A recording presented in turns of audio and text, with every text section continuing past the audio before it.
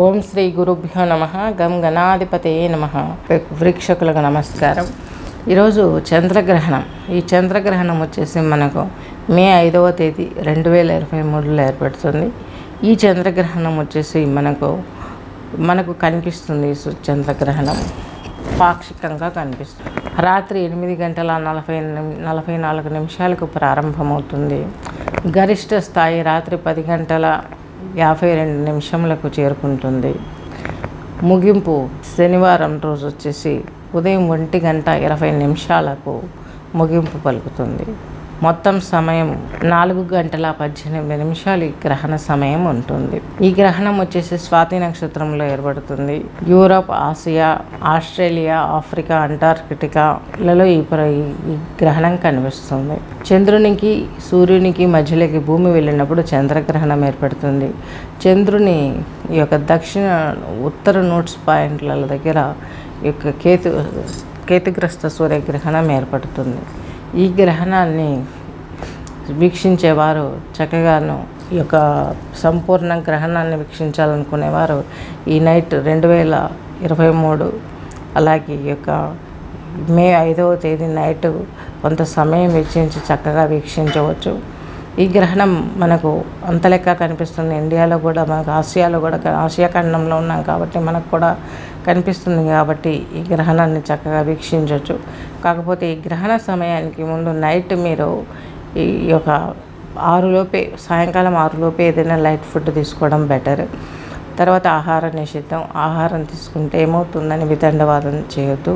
ఎందుకనగా ఈ టైంలో అతి నీళ్ళలోహిత కిరణాలు ఏర్పడతాయి కాబట్టి అవి మనపైన దుష్ప్రభావాన్ని చూపి గ్యాస్ ప్రాబ్లమ్స్ అల్సర్స్ ఇలా చక్కగా ఆహారం డైజెషన్ కాకపోవడం బుద్ధి మంద మందత్వం ఇవన్నీ ఏర్పడతాయి కాబట్టి ఇవి కంటికి కనిపించవు. కాలక్రమంలో మనపైన ప్రభావాన్ని చూపుతాయి. తాత్కాలికంగా చూపలేదు అనేసి మనం కాంపిటీషన్ నేచర్తో మనం మాట్లాడకుండా శాస్త్రాన్ని మనం అవగాహన చేసుకొని పాటించినట్లయితే చక్కని భవిష్యత్తుకు బాగుంటుంది హెల్త్కి బాగుంటుంది ఫిజికల్గా మెంటల్గా బాగుంటుంది. గ్రహణ సమయంలో దీపారాధన లాంటివి చేయకూడదు. ఈ సమయంలో మంత్రాలు ఏవైనా ఉంటే మీరు మంత్రసిద్ధి కోసం పఠించుకోవడం ఉత్తమం. ఒకసారి మంత్రం చేస్తే చక్కగా నన్ను వెయ్యి సార్లు చేసిన ఫలితం వస్తుంది కాబట్టి ఒక మంత్రస్థితి కావాలంటే రెండు లక్షలు పఠించాలి కాబట్టి ఈ సమయం దానికి చాలా అనుకూలంగా ఉంటుందని చాలామంది యోగులు అలాగే తత్వవేత్తలు అలాగే పండితులు వీరంతా కూడా ఎదురు చూస్తుంటారు. గ్రహణ సమయంలో మంత్రసిద్ధి పొందడం కోసం ఈ యొక్క టైం టైంలో మంత్రాన్ని ఉచ్చరించుకోవడం కోసం జపం చేసుకోవడం కోసం ఎదురు చూస్తూ ఉంటారు. అలాగే గ్రహపీడలు తొలగడం కోసం అలాగే ఏదైనా మంత్రసిద్ధి కోసం అలాగే ఏదైనా ఇష్టపూర్వకంగా దైవ అనుగ్రహం కోసం చేసుకోవాలనుకునేవారు. ఏది ఏమైనా గ్రహణ సమయం చాలా పవిత్రమైన కాలం ఈ సమయంలో మనకు దేనికి అన్నిటికీ చెడునే. కానీ మంత్రసిద్ధికి మాత్రం బాగా పట్టు దొరికే సమయం. దీనికి మాత్రం పవిత్రమైన సమయం కాబట్టి ఈ సమయంలో మీ సాధనలను పెంపించుకుంటే దేవతలు ఈ సమయంలో శక్తిని కోల్పోతారు కాబట్టి మనం మంత్రరూపంగా వారికి శక్తిని అందిస్తే మన నిజ జీవితంలో ఎప్పుడైనా మనకు కష్టాలు వచ్చినప్పుడు ఆ మంత్రాన్ని పఠించినప్పుడు అది కొన్ని లక్షల సార్లు మనం పఠించిన ఫలితం ఆల్రెడీ గ్రహణ సమయంలో ఉంటుంది కాబట్టి ఆ దేవతలు ఆ సమయంలో మనల్ని ఈజీగా వారి కృపా కటాక్షాల చేత రక్షించడానికి చాలా బాగా హెల్ప్ఫుల్గా ఉంటుంది. ఈ స్వాతి నక్షత్ర జాతకులు మాత్రం ఖచ్చితంగా జాతకం చేయించుకోవాలి మీ వ్యక్తిగత జాతకంలో ఎలాంటి దోషాలు ఉన్నాయి? ఈ గ్రహణం యొక్క పీడ ఎంతవరకు పడుతుంది అనేది మీకు చాలా క్లియర్గా ఎక్స్ప్లెయిన్ చేయడం జరుగుతుంది. విశేషించి కేతుగ్రస్త సూర్యగ్రహణం. ఈ గ్రహణంలో మీకు ఈ గ్రహణ సమయంలో సప్తమంలో ఉన్నటువంటి గ్రహాలు కూడా గురువు రాహువు వీరు కూడా మీ రాశిని చూస్తున్నారు కాబట్టి రవి బుధుడు వీరు కూడా మీ రాశిని చూస్తున్నారు. ఇక్కడ కొన్ని నెగిటివ్ ఈ యొక్క ప్రభావం నెగిటివ్ ఇన్ఫ్యాక్ట్ వచ్చే అవకాశాలు కూడా ఉన్నాయి. కాబట్టి మీరు చాలా జాగ్రత్తగా ఈ గ్రహణ సమయంలో పాటించాల్సిన నియమాలు పాటించాలి. గర్భిణీలు ఇంట్లో నుంచి బయటకు రాకూడదు. వెజిటబుల్స్ లాంటివి కూడా కట్ చేయకూడదు.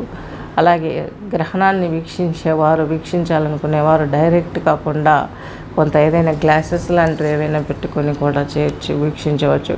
అలాగే ఈ గ్రహణ సమయంలో ఆహార నిషేధంతో పాటు జలము కూడా తీసుకోకూడదా అనే సందేహం చాలామందికి కలుగుతుంది. దప్పిక వేసినప్పుడు తప్పనిసరి పరిస్థితులలో జలాన్ని స్వీకరించవచ్చు. అలాగే గర్భిణీ స్త్రీలు మాత్రము ఇంకా గ్రహణము ఇవి ఏర్పడతాయి కాబట్టి పిండానికి గర్భంలో పెరుగుతున్నటువంటి పిండానికి బయటికి రాకపోవడం ఎంతో శ్రేయస్కరం.